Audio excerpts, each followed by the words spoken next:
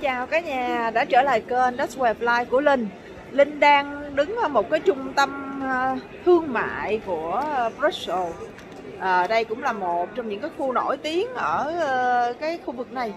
Và à, đây là đang mùa Valentine cho nên Linh sẽ quay những cái chỗ mà họ bán đồ à, đặc trưng cho lễ tình nhân.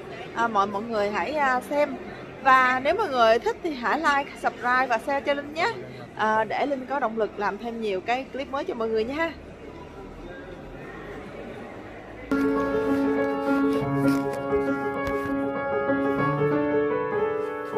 mình đi vòng vòng cái khu ờ, này. Tại vì cái khu này thì chưa phải cái khu trung tâm mua sắm đâu.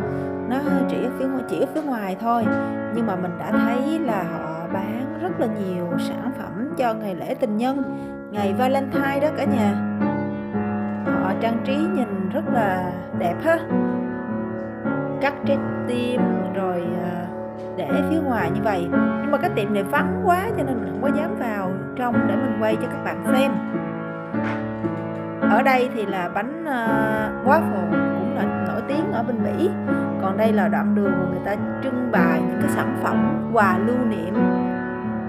Mình thì cứ ờ, đi vòng vòng thôi cái khu này nó cũng không có quá rộng lớn. Nhưng mà mình đi thì cũng mỏi chân đó cả nhà. Đây đặc sản của Bỉ đây. Đó rồi bên đây nữa là bánh cái đường này á, rất là nhiều thức ăn à, nhà hàng nè. Rồi à, đồ lưu niệm tại cái khu này là cái khu dành cho du khách mà. Đó bánh này là bánh mì. Cái thương hiệu của bên à, Bỉ thì nó gần giống như là cái kiểu à, ở khu này ảnh hưởng của Pháp đó cho nên um, có rất là nhiều uh, sản phẩm của Pháp nè. Đây là đây là cái rượu nóng rượu nóng này mọi người đã xem cái clip mà đi ờ, lễ Dickens của Linh á. Thì ờ, hoặc là những cái clip mà về mùa đông lễ Christmas á, thì cái rượu nóng này Linh đã nhắc rất là nhiều lần đây là cái khu khu trung tâm thương mại Linh đã đến đây lần thứ hai. Thì trong trong cái chuyến đi này á nha, thì Linh đã đi ban đêm nhưng mà hôm nay con làm cái clip này về ban ngày. Thì Linh ờ, sẽ ờ, đưa các bạn vào đây xem cái khu thương mại này nó như thế nào. Nhìn nó rất là cổ điển, trang trọng, giống như cái kiểu hàng gia vậy đó cả nhà.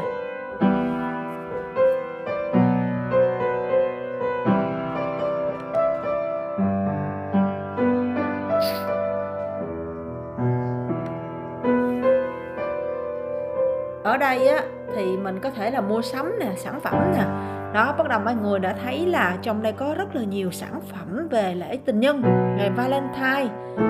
Nhiều lắm cả nhà ơi. Và cái trung tâm này đầy cà vạt cho quý ông rất là mắc tiền nha. Kế bên lại là sô cô la sô cô la của bỉ thì nó rất là nổi tiếng rồi. Tại sao mà nó ngon nhất thế giới á, thì là um, nó nó nó có rất là nhiều thương hiệu khác nhau nè. Rồi công thức nó rất là độc đáo. Đây là những sản phẩm đặc trưng của kiểu của pháp. Mình đi đến đây mình cứ nhớ là mình đang ở pháp thôi tại vì những mấy cái kiểu này nè là mình lại tưởng là văn hóa của pháp. Như linh đã nói thì uh, cái khu vực này ảnh hưởng văn hóa của pháp mà. Cho nên khi mà mình đứng ở đây á, linh nói rồi nghe tiếng pháp thì linh lại tưởng là linh đang ở nước pháp mấy cái con búp bê này dễ thương cả nhà hả? Còn đây là sô cô la nữa nè. Mấy cái sô cô la này linh đã lén lén vào trong tiệm của người ta để linh quay. Thì ở đây có rất nhiều kiểu dáng nè. Sô cô la đen sô cô la trắng sô cô la tươi.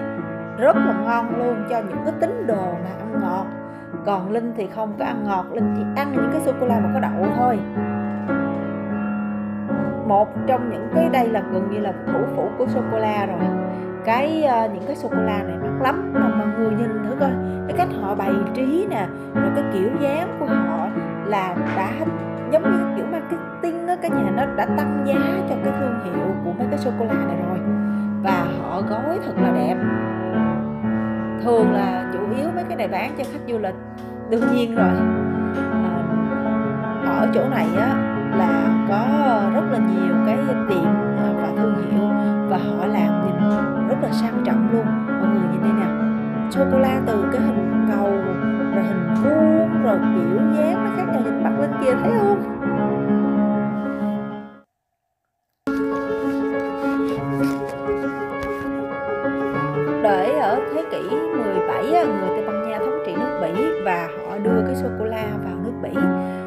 Rồi có rất là nhiều thành viên hoàng tộc nghệ sĩ với giàu có của Bỉ đã lần đầu được trải nghiệm sô cô la tại cung điện hoàng gia.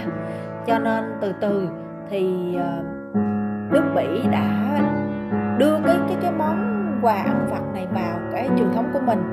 Thì ngày nay tại châu Âu, Thụy Sĩ đang cạnh tranh quyết liệt với Bỉ về chất lượng và thương hiệu sô cô la nhưng mà ừ, vào những cái thời điểm mà năm 1000 năm thế kỷ 17 á, thì ờ, Bỉ vẫn phải phụ thuộc vào Tây Ban Nha để có nguồn cung cấp. Nhưng mà cuối thế kỷ 19 thì ờ, Bỉ á, bắt đầu đã tự mình sản xuất được rồi. Bên đây là những có những cái món quà khác nữa món quà món quà về à, cái cái cái người nhạc công này nè. Người nghệ sĩ sáng tác nhạc công này rất là nổi tiếng ở đây. Nhưng mà linh quên tìm hiểu cho nên không thể nào mà nói cho các uh, các bạn biết trong clip này đối diện đây lại là một cái tiệm sô cô la mà mọi người nhìn đi cái cách họ trang trí tiệm sô cô la nhìn giống như là tiệm vàng như cả nhà hả? Lạnh đó, linh bị à, ho rồi. Đồ ngoài sô cô la thì tất nhiên có kẹo và có macaron nữa. Tất cả các món này thì linh không có giới thiệu food, kiểu food tour cho mọi người, tại vì linh không ăn ngọt.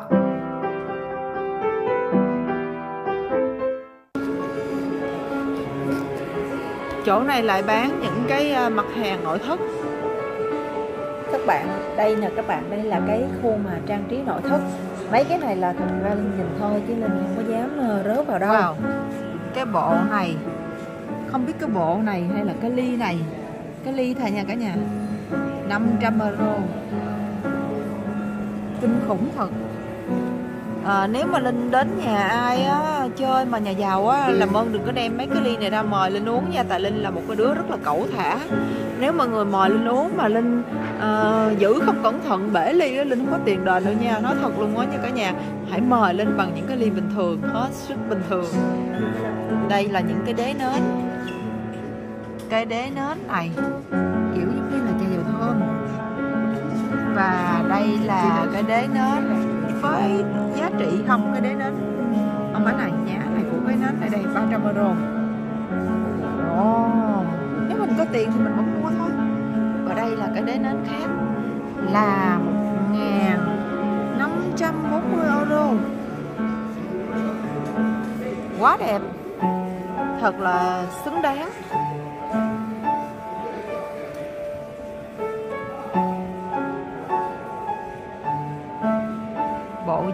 Tổng cộng là cũng cả trăm. Đẹp thật hả cả nhà hả?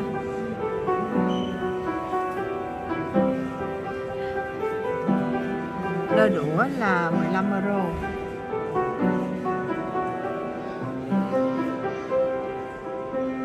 Tiếp tục bên đây là gì đây? Đồ trang trí.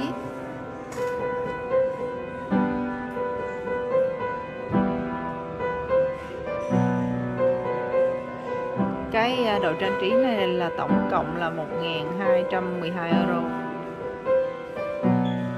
Chỉ có cái cây này thôi đó nha các nhà.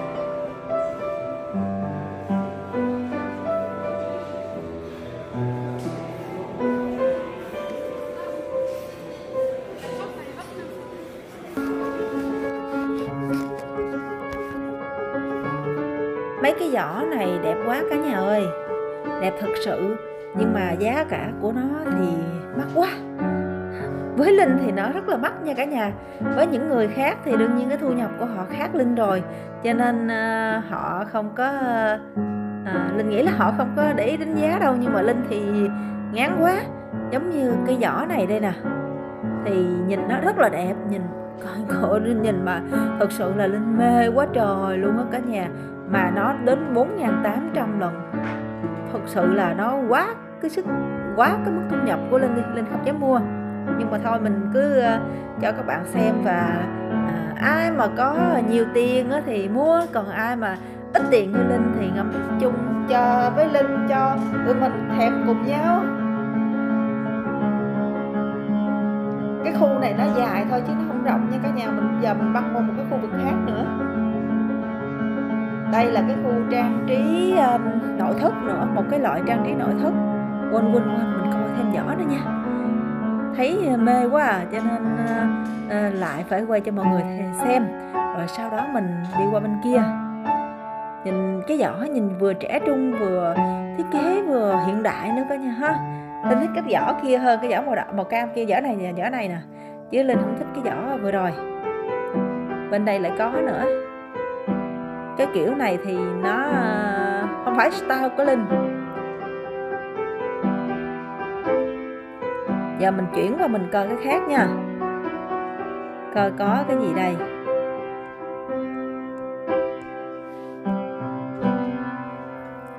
Đây là những cái ờ, món mà cũng để trang trí rồi mọi người thấy đó.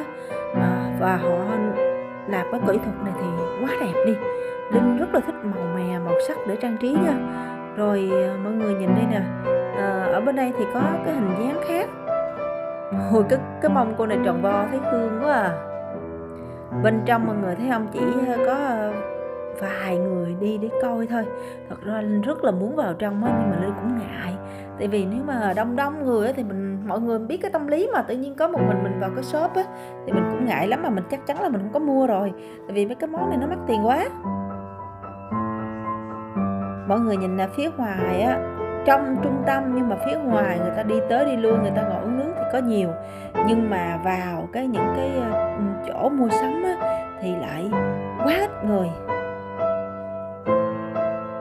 Bên đây thì họ bán nữ trang wow. Con cọp này tôi nhìn nó nó sợ tôi chứ tôi đâu sợ nó đâu. Mà nhìn đẹp quá cả nhà hả?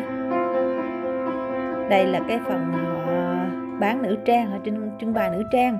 Thì nữ trang bên ờ, này và bên ờ, bên linh á, họ bán, họ tính theo cái giá của thiết kế chứ không phải là cái giá của lượng vàng tại vì bên mình á, thì ờ, bán vàng theo lượng theo gam. À, thì bên này á, họ lại tính theo cái giá trị của cái ờ, món mà họ thiết kế.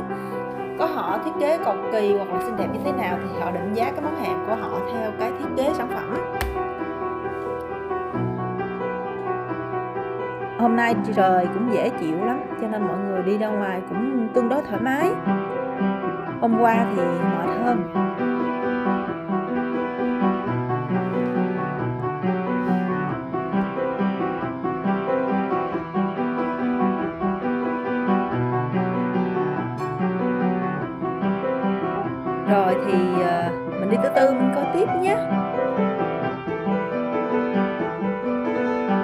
Bên đây á, thì có một cái thương hiệu khác nữa.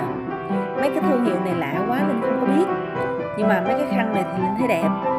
Và giỏ đó cả nhà thì linh thấy cái giỏ cái cái cái cái giỏ này nè à, có thể là linh mua được tại vì nó từ năm trăm mấy cho đến bảy trăm mấy thôi. Một ngàn thì mình cũng có thể mua được nhưng mà nếu mà bốn ngàn thì nó lại quá cái sức ờ, của linh. Linh mình mình mình nếu mình ham quá thì mình mua cũng được đi nhưng mà mình mua như vậy thì sẽ ảnh hưởng ảnh hưởng đến kinh tế của gia đình của mình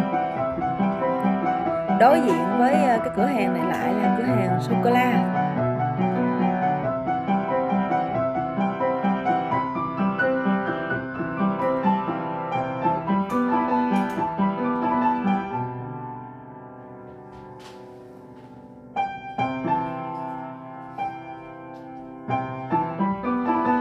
lại là một cái tiệm sô cô la khác nữa.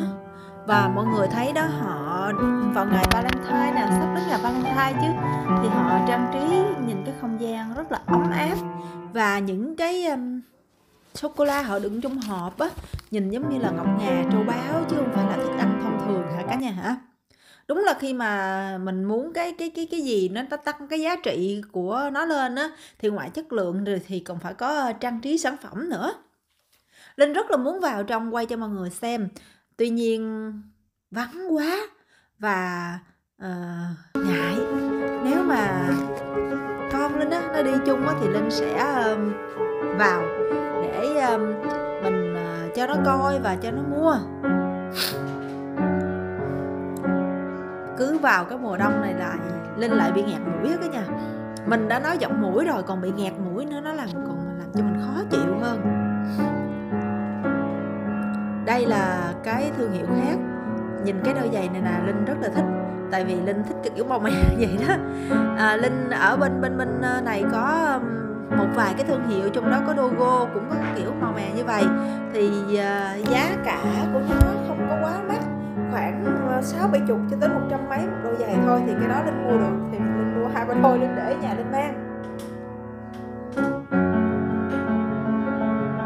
Bây giờ thì mọi người đi vòng vòng ở đây mọi người thấy là quà của Valentine quá trời luôn đó ha. Nếu mà ai có người yêu á thì à, tặng chắc thích lắm. Nhưng mà hy vọng là người yêu của linh không có tặng mấy cái món quà này cho linh. Tại vì tặng cho linh thì linh cũng đâu có ăn gì đâu. Bên đây lại là cái tiệm giỏ sách. Cái uh, kiểu giỏ này nhìn nó rất là trang nhã, nhẹ nhàng. Giá cả cũng khoảng 495 thì cũng không có quá mắc. Mình mua cái này mình dễ phối hợp với quần áo cả nhà.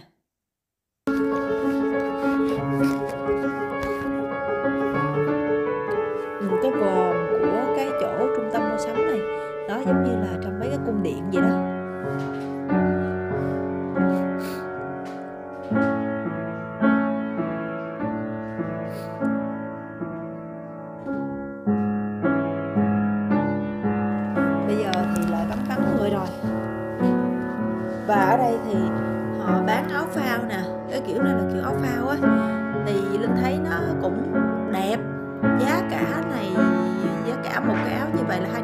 Trăm thì giá này là tương đối là đúng giá rồi.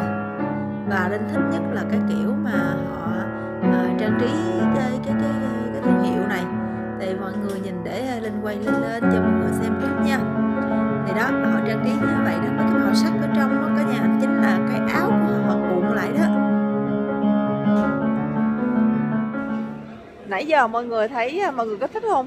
À, chứ linh ở đây hòa chung với không khí này linh rất là thích à, và những cái uh, thổi sô cô la đó cả nhà thấy là nó rất là đẹp ừ, các nghệ nhân làm nó rất là công phu và tỉ mỉ à, mong mọi người hãy uh, uh, thích uh, clip của linh và share like subscribe cho linh nhé Linh uh, chúc cả nhà một ngày thật vui và đặc biệt có một ngày Valentine thật tuyệt vời với lại những người thân yêu của mình. Bye bye cả nhà, hẹn gặp lại cả nhà vào clip sau.